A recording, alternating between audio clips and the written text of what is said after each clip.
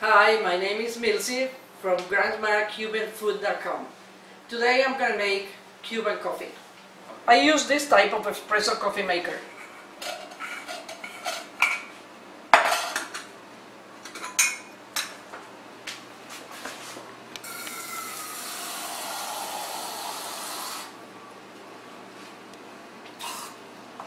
Fill it up with water up to this little knob here.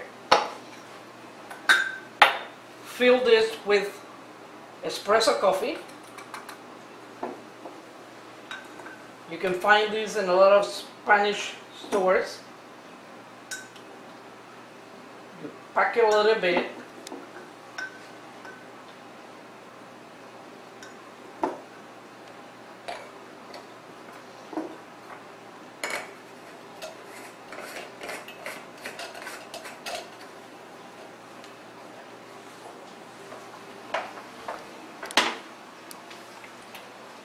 Put it on high heat until it start coming up. The Cuban coffee takes a lot of sugar.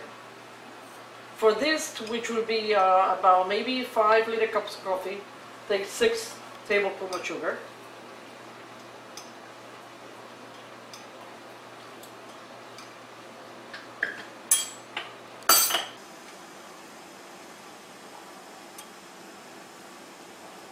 When the coffee start coming up, then you put a little bit on the sugar to make the foam.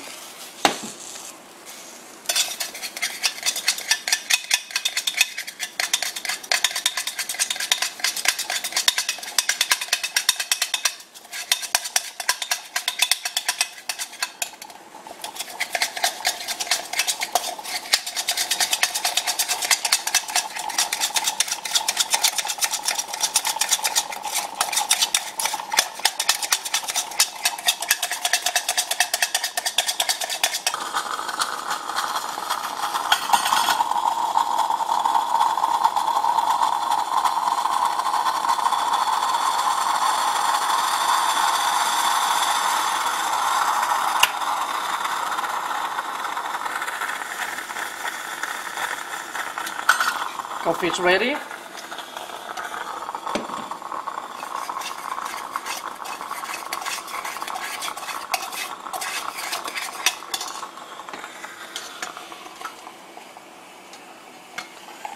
See, it comes out with a lot of foam.